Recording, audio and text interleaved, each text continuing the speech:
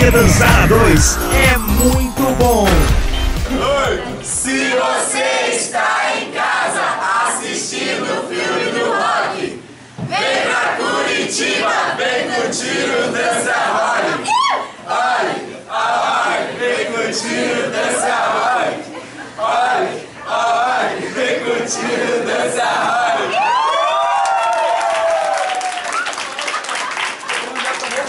Aê!